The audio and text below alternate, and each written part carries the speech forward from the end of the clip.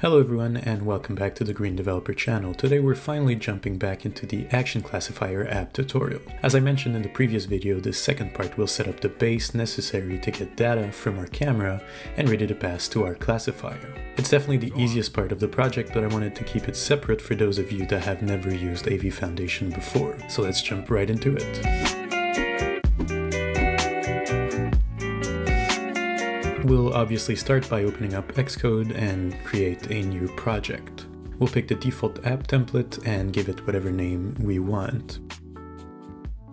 For this project, I'll be using UIKit, so make sure to have storyboard selected as your interface option and click next, then create. The first thing we'll look at is creating a video preview of our camera feed. It's not actually necessary for the purposes of classifying, but it will help us when testing the app to make sure we're in frame and that the vision framework is correctly recognizing us. We'll start by importing AV Foundation, Apple's audio visual framework, and creating an AV Capture Video Preview layer that we'll call Preview Layer.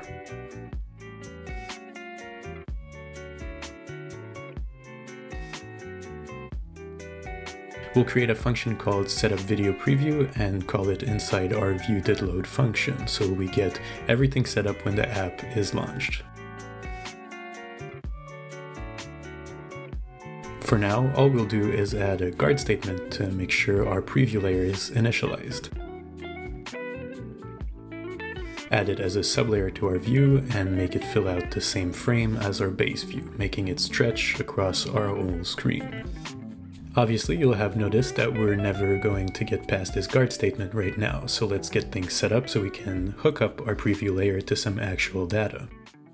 To manage everything related to AV Foundation, we'll create a video capture object. Head to our project, hit Command and create a new Swift file, and we'll call it video capture.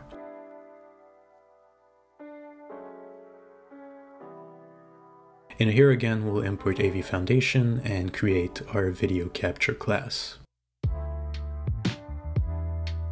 In there, we'll create an AV capture session, which basically acts as a bridge between our phone's input devices and some output that we'll set up later on.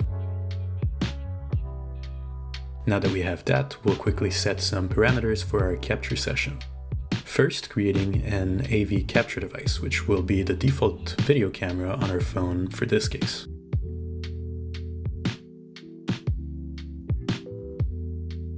And with that capture device, we can create an AV capture input that will take the data from the device we've specified.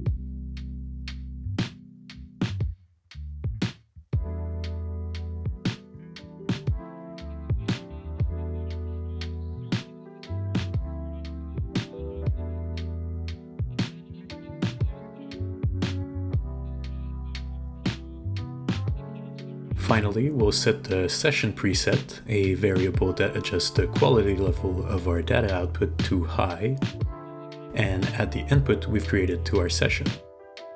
To make sure we don't waste resources when we don't need to, we'll add another function before we're done so we can start running our capture session when we actually decide to. For now, we should be done here. We can head back to our view controller and our current error should now be going away. In our setup preview function, we can now start our capture session with the function we just created and initialize our preview layer using the capture session that was just started. This preview layer will automatically receive the device input we've defined and display it to our view. One final note before we can run and test this, hopefully you've thought about it. Since we'll be using the camera, we have to go ask for users' permissions. We'll open our info.plist and add a new row. Scroll down to privacy camera usage description and give a brief description of why we are using the camera. Can now build and run our app and we should see a direct video feed of our camera show up and fill up the whole screen.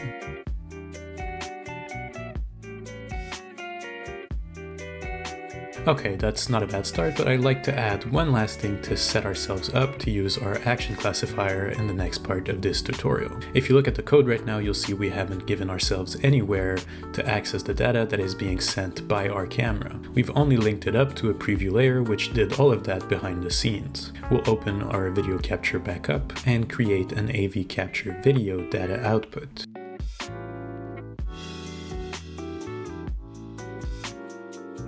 In our initializer, we'll add that output to the same capture session as earlier.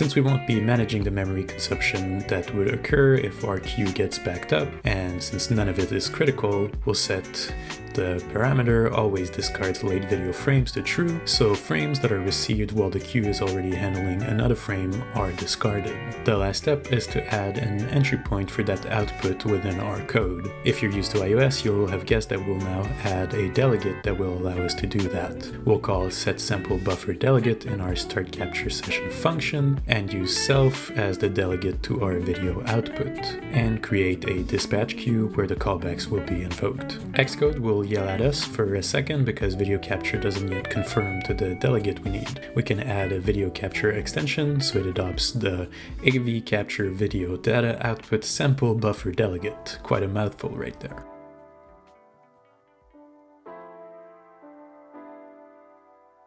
All we need here is to set the capture output did output sample buffer method and we're almost done. For now, we'll print out the data just to see if everything is connected properly.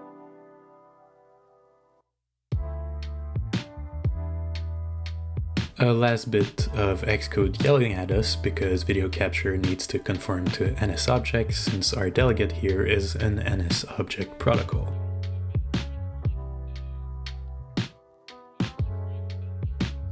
We'll override our init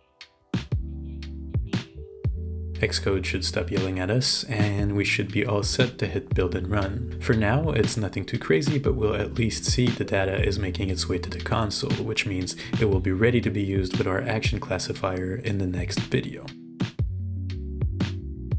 So I hope you guys enjoyed the video. Next time we'll put all of this together and get to the actual fun part of this project, actually using our action classifier in a real scenario. Hope you all enjoyed this video. If you did, make sure to hit the like button and hit subscribe so you don't miss the next part. I'll see you all in the next video, and until then, take care.